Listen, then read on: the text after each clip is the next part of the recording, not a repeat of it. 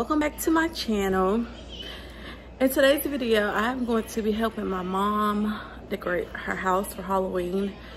Um we're just gonna do just a few areas in her house the fireplace area. Then she has um like this window seat here. We're gonna decorate it and then, then the fireplace. And i think over here some um, in this tree.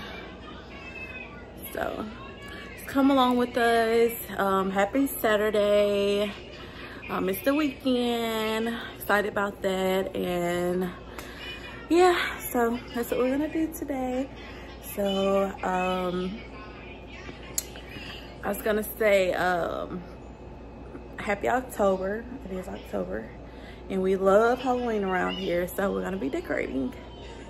So please like, subscribe, and comment down below on what you think. And let's have fun. I'm so excited. And um,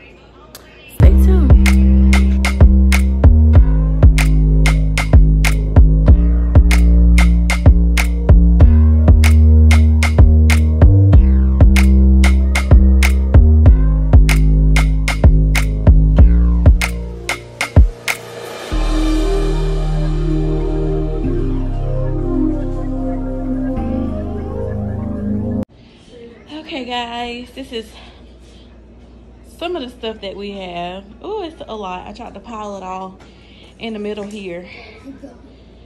So we're gonna be decorating there, there, and that tree. Then we got like a nun to go on the door and maybe over here. I'm not sure. Yeah.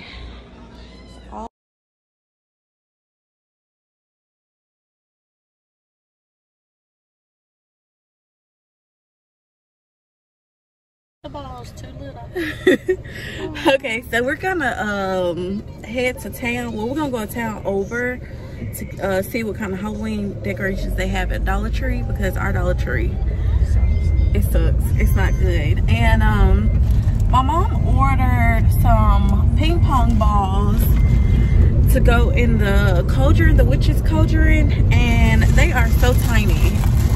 Look at them. We thought they were ping pong size or like beer pong ball size. And this is what they got. So we're gonna see if we find something. We're gonna still try to use them though, because they're cute. But yeah, that's what came. Amazon played us.